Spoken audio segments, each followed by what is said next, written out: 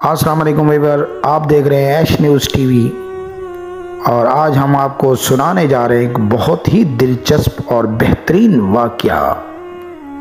अगर आपने हमारा चैनल सब्सक्राइब नहीं किया तो प्लीज़ हमारे चैनल को सब्सक्राइब कीजिए और बेल आइकन का बटन ज़रूर दबाइए ताकि आपको हमारी आने वाली नई वीडियो आसानी से मिल सके।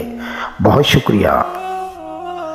इश्क रसूल सल्लल्लाहु अलैहि वसल्लम में गरम सलाख से मांग निकालना एक सहाबी राज़ी अल्लाह ताला के रहने वाले थे।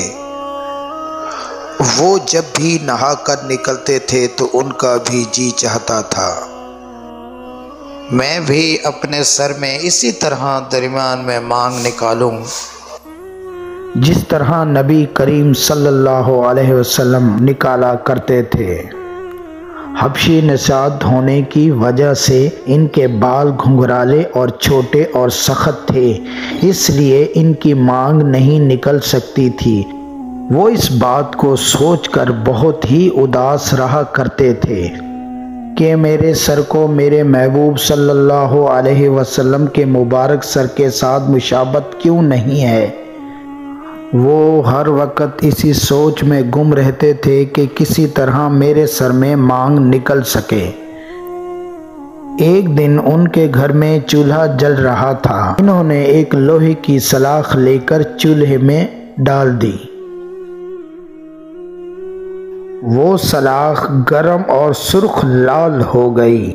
आग की तरह जलती हुई वो सलाख उठाई अपने सर के बीच में लगा दी। सलाख लगाने से उनके सर में बहुत बड़ा जख्म बन गया। जब बाद में वो जख्म भर गया तो उनके सर में एक लकीर सी नज़र आने लगी। वो इस लकीर को देखकर बहुत ही खुश होने लगे। अल्लाह का शुक्र अदा किया कि मेरी भी मांग हजूर सल्लल्लाहु वसल्लम की तरह लगने लगी। लोगों ने उनसे कहा कि आपने इतनी तकलीफ़ क्यों उठाई?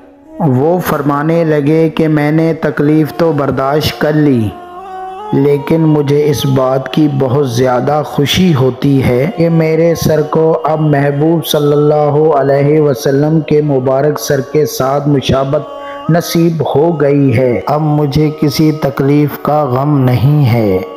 दोस्तों, हमें भी अपने आका मोहम्मद मुस्तफ़ा सल्लल्लाहु अलैहि वसल्लम से मोहब्बत करनी चाहिए और उनकी सुन्नत के मुताबिक चलना चाहिए और हमें पाँच वक्त नमाज़ अदा करनी चाहिए। अगर आपको हमारी वीडियो पसंद आई हो तो हमारी चैनल को सब्सक्राइब करें, लाइक करें और शेयर करें और बेल आइकन का बटन ज़रूर दबाएँ ताकि आपको हमारी नई आने वाली वीडियो आसानी से मिल सके। बहुत शुक्रिया।